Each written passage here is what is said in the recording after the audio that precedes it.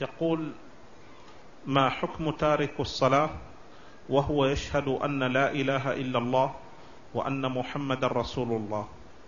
لا تنفعه لا إله إلا الله لأنه ناقضها ناقضها بترك الصلاة لأن ترك الصلاة كفر مناقض لكلمة لا إله إلا الله.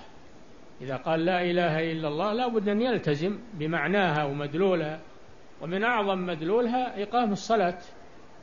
فهذا ترك أول شيء من مدلول لا إله إلا الله وهو الصلاة.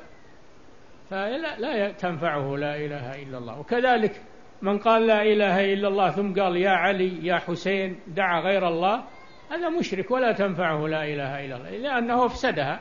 أفسد هذه الكلمة بالشرك. مثل اللي يتطهر ويحدث. ينتقض وضوءه. هذا يقول كلمة التوحيد ثم يشرك. ينتقض توحيده. ينبغي معرفة هذه الأمور. نعم.